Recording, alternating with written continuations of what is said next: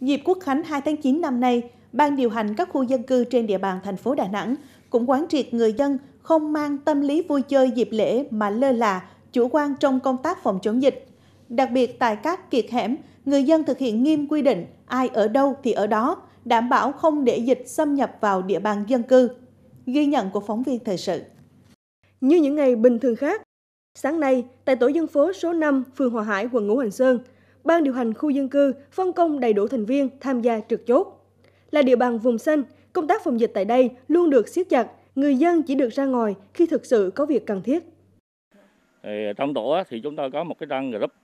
của tổ thì đêm hôm qua là tôi đã nhắn lên là bà con vui vẻ nhưng mà với tinh thần là phòng chống dịch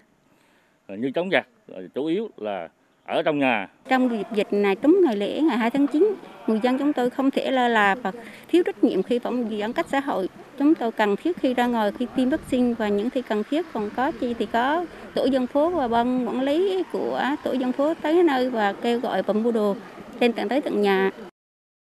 Còn đây là kiệt 125 đường Ngô Gia Tự, phường Hải Châu 1, quận Hải Châu.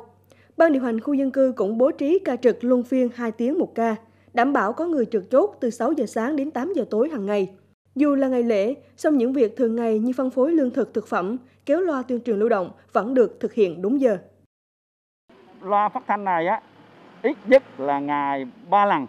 sáng, trưa, chiều và theo cái phân ca trực